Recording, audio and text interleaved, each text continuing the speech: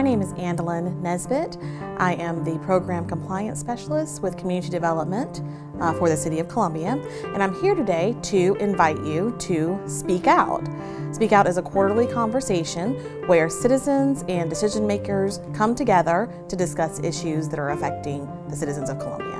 Speak Out will be held on November 3rd uh, which is a Saturday, uh, from 10 a.m. to 11 a.m. at Woodforest National Bank, which is located at 3730 Suite D, um, North Main Street. We're going to be discussing transportation issues, um, difficulties, and things that are good about our transportation system um, within the city.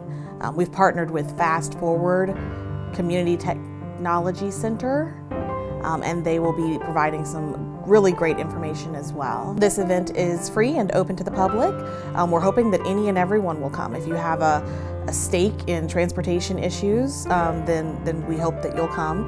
Um, whether you're a driver or um, use mostly public transportation, um, this is just a forum for you to get together with some of the decision makers and um, start to come up with some solutions to any issues within the city. For more information, visit the Community Development webpage on the City of Columbia, columbiasc.gov, Community Development. You can also call our office at 803-545-3371. Speak Out is a quarterly conversation. In every conversation, we aim to tackle a different impediment um, that are burdening um, the City of Columbia residents.